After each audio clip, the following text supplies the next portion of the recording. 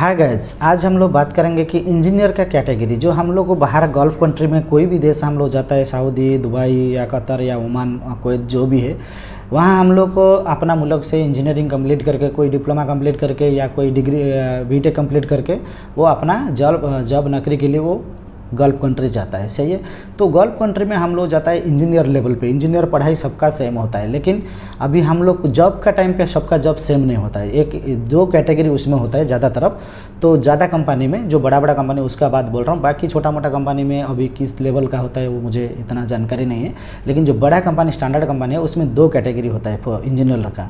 तो इंजीनियर जो होता है, एक होता है जूनियर लेवल का इंजीनियर एक होता है सीनियर इंजीनियर जो जूनियर इंजीनियर है ज़्यादातर साइड का साथ रिलेटिव रहेगा साइड का साथ वो टीम का साथ अपना साइड का काम को लेकर ज़्यादा टेंशन रहेगा।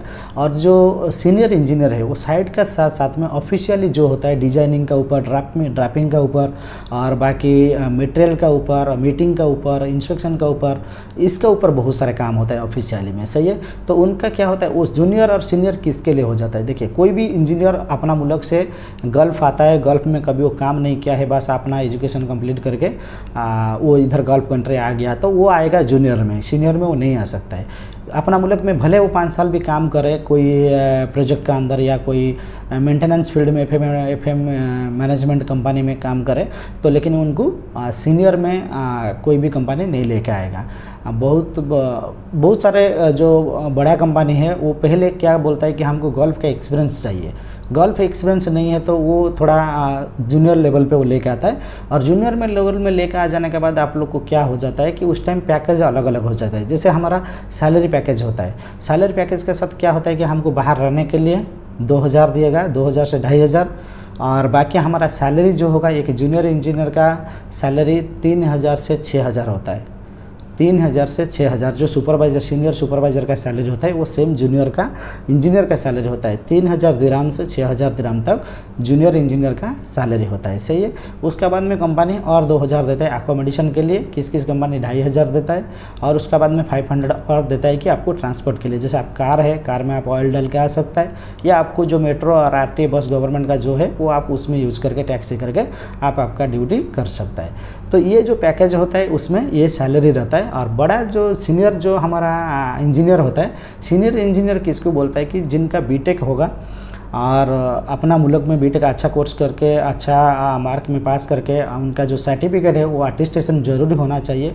अटेस्टेशन होने के बाद उनको थोड़ा वैल्यू और बढ़ जाता है और उनका काम भी वही हिसाब से होता है कि ये जब सीनियर में आएगा, उनको साइड का जो प्रोजेक्ट इंजीनियर बोलता है तो प्रोजेक्ट इंजीनियर का लेवल में उनको टैलेंट होना चाहिए और वो लेवल का काम उनको संभालना पड़ेगा। प्रोजेक्ट इंजीनियर बोलेगा तो प्रोजेक्ट इंजीनियर है तो आपको ड्राइंग डिज़ाइनिंग आपको बनाना है। प्रोजेक्ट इंजीनियर का यही काम होता है कि जो प्रोजेक्ट के अंदर काम होगा क्लाइंट से डिस्कस करके क्लाइंट के साथ बात करके, वो हिसाब से वो डिज़ाइन बनाएगा, जो ड्राफ्टमैन टीम रहेगा वो उनका अंडर में रहेगा। ड्राइपिंग के लिए जो ड्राइंग बनाएगा और हर चीज़ का क्वांटिटी कैलकुलेशन करेगा, वो उनका टीम का अंडर रहेगा। उनका ज़्यादातर काम रहेगा ऑफ़िस में। साइड का काम भी देखेंगे। साइड का जो टीम है, वो उनका जो अंडर में जो सुपरवाइज़र होगा, फोरमैन होगा, उन लोग भी वो लोग हैंडल करेंगे। उसका साथ साथ में ऑफिशियली जो कंपनी के लिए मेन काम होता है डिज़ाइनिंग, वो डिज़ाइनिंग का ऊपर भी वो लोग ज़्यादा ध्यान देना पड़ेगा। तो वो लोग का सैलरी क्या होता है कि उन लोग को दस हज़ार से पंद्रह हज़ार दिराम सैलरी होता है। जो बेसिक सैलरी होता है यहाँ का, दस हज़ार से पंद्रह हज़ार दिराम। तो वो टैलेंट आपको मिलने के लिए आपको यहाँ मिनिमम दस साल काम करना पड़ेगा, जो जूनियर इंजीनियर है। और वो हिसाब से आपका जो एजुकेशन है वो भी उतना हाई होना चाहिए उतना जानकारी होना चाहिए उतना नॉलेज आपको होना चाहिए। तो आपका सर्टिफिकेट भी वहाँ अटेस्टेशन नहीं किया है तो यहाँ आके अटेस्टेशन उसको करना चाहिए। तभी उसका बाद आपको वो चांस मिलेगा लेकिन 10-15 साल आप काम करने का बाद जो जूनियर में आया। और जो सीनियर में आएगा वो, वो तो पहले से तो बीटेक करके अटेस्टेशन करके सर्टिफिकेट रखा होगा नहीं तो वो लोग को कंपनी सीनियर में नहीं लेगा। ऊपर से वो गल्फ कंट्री के अंदर भी काम किया होगा, पाँच साल से दस साल। गल्फ कंट्री में, कोई भी कंट्री में वो काम किया होगा, पाँच साल से दस साल दस साल तक वो काम करके प्रोजेक्ट के बारे में, काम के बारे में उनको पूरा एक्सपोर्ट होना चाहिए, पूरा नॉलेज होना चाहिए हर चीज़ का। और वो हिसाब से उनको स्टैंडर्ड भी होना चाहिए क्लाइंट के साथ और कंसल्टेंट के साथ, कैसे बात करना है, कैसे डील करना है, कैसे हमारा प्रोजेक्ट को फ़ायदा करना है, कैसे हमारा मटेरियल ऑर्डर करना है, दूसरा कंट्री के साथ बात करके हम लोग को कैसे मंगाना है। तो वो सब टैलेंट उनका अंदर होना चाहिए और उनको जो पैकेज मिलेगा मैं आपको बताया कि दस हज़ार से पंद्रह हज़ार दिराम सैलरी मिलेगा।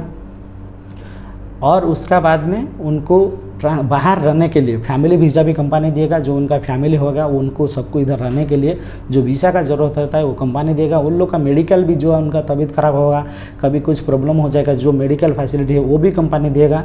और उसका बाद उनको रहने के लिए जो घर है, वो अपार्टमेंट फ्लैट के लिए, वो भी पाँच हज़ार अलग देगा। मतलब लगभग पूरा पैकेज जो है, बीस से पच्चीस हज़ार तक उनको मिल जाएगा। सही है? तो वो होता है सीनियर लेवल का जो इंजीनियर लोग होता है वो लोग का है। सीनियर लेवल इंजीनियर बोलेगा तो वो कंस्ट्रक्शन मैनेजर का सेम सेम पोजीशन उनका होता है, ज़िम्मेदारी भी वही होता है रिस्पॉन्सिबिलिटी भी वही होता है। वो लोग सीनियर इंजीनियर है, सही है? तो यही काम है और यही पैकेज है सीनियर और जूनियर अंदर में। और आप लोग को कोई टेंशन लेने का ज़रूरत नहीं, जो भी अपना मुल्क में बीटेक भी कर चुका है अटिस्टेशन भी कर चुका है, फिर भी आप सीनियर में नहीं आ पाता है कोई टेंशन लेने का ज़रूरत नहीं है। आप जूनियर में आ जाइए, पाँच साल यहाँ काम कीजिए कंपनी चेंज कीजिए, फिर दूसरा कंपनी के जाने का टाइम आप सीनियर इंजीनियर के लिए आप अप्लाई कीजिए, आपको दस बारह हज़ार ग्राम सैलरी मिल जाएगा। और काम और पैकेज फैसिलिटी वो सब मिल जाएगा। हर टाइप का गल्फ कंट्री में हर एक साल में उनको छुट्टी मिलता है, एक महीना के लिए। और उसका बीच में कुछ हॉलीडे कुछ फ्राइडे में ड्यूटी करना पड़ा तो वो भी छुट्टी लास्ट में मिल जाता है। उसका पैसा भी मिल जाता है। और जो छुट्टी रहेंगे, जितना दिन उसका भी पैसा लीव सैलरी का हिसाब से वो भी मिल जाएगा। आने जाने का टिकट भी हर साल मिल जाएगा फैमिली का साथ में। सही है? तो यही सब रहता है जूनियर और सीनियर इंजीनियर का अंदर में। आप लोग को जो आदमी इधर गल्फ कंट्री में वो सबको मालूम है, मैं जो बताता हूँ, वो लोग सबको मालूम है, वो लोग देखने के बाद वो लोग को समझ आएगा कि हाँ जो यहाँ होता है फैक्ट वो बताता है, वो वही बात करता है। लेकिन जो आप लोग देखा नहीं है, कभी यहाँ महसूस नहीं किया, काम नहीं किया, कभी आया नहीं है, अपना अपना मुल्क में जो भी है इंडिया में और बांग्लादेश, नेपाल, पाकिस्तान जो भी अफ़गानिस्तान, कहीं भी हमारा एशिया कंट्री का अंदर जो लोग मेरा वीडियो देख रहा है तो आप लोग को मालूम नहीं है तो इसमें से आप लोग को समझ जाना चाहिए। यही सब इधर होता है, यही से हिसाब से हम लोग काम करता है और यही हिसाब से हम लोग यहाँ कमाता है, सही है?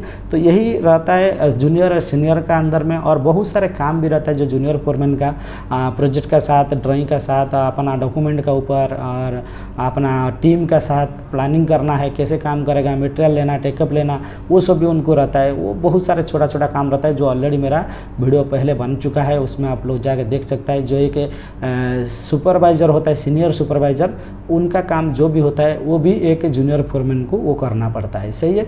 तो यही जूनियर सीनियर का अंदर में इतना सारा डिफरेंस है और आप लोग समझ गया होगा। और मेरा तो यही रहेगा कि जो भी आदमी बीटेक या डिप्लोमा किया है, दो साल, तीन साल जो भी डिप्लोमा किया है तो उसको सब आप लोग अटेस्ट कर अटेस्टेशन कर, करने के लिए भेज दीजिए आपका सर्टिफिकेट को। वो अटेस्टेड अटेस्टेड होने के बाद आपको कोई भी कंपनी आसानी से जॉब मिल जाएगा। सही है? तो चलिए, ये वीडियो आप लोग को कैसा लगा? नेक्स्ट वीडियो में फिर हम लोग फिर मिलेंगे, फिर बातें करेंगे और आप लोग का जो कमेंट्स आएगा, उसके ऊपर भी मैं वीडियो बनाने के लिए कोशिश करूँगा। सही है? Thank you so much